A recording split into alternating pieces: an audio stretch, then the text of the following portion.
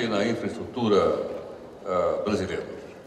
Eu acho que levantei essa questão da necessidade de um plano, é, mais ou menos em fevereiro, quando me perguntaram o que eu achava do programa de aceleração do crescimento.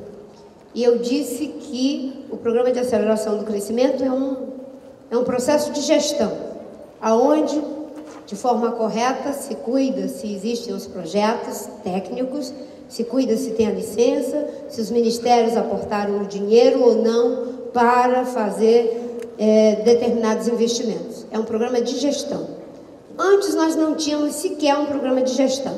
Isso deve ser mantido, mas que nós não podemos chamar não é, de programa e não basta ter também um programa, é preciso que se tenha um plano. O plano é onde você pensa as diretrizes, aonde você coloca ali a visão estratégica e baseado naquilo que são as oportunidades do país para os próximos 10, 20, 30 anos, você faz o planejamento da infraestrutura necessária.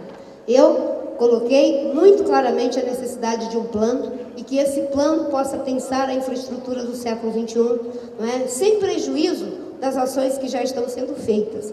No que concerne a essa questão, a gente está falando aqui da infraestrutura física, mas é fundamental que tenhamos a mesma consciência de que o nosso país precisa de forma igualmente prioritária e marcante de investir muito rapidamente na sua infraestrutura humana, porque sem ela nós não vamos a lugar nenhum. Geralmente, quando a gente diz isso, há uma tendência de querer contrapor uma coisa ou a outra, não é? Bem, como é que vai fazer para fazer a infraestrutura física? Aí você fala que é importante também investir na educação, na tecnologia, na inovação. Aí as pessoas acham que não dá para fazer as duas coisas. Temos que fazer as duas coisas. Nós não temos como colocar, não é, a educação em contraposição às necessidades estratégicas do país. Queremos que esse processo possa ser um, um planejamento adequado em dois níveis: a infraestrutura física e a infraestrutura humana.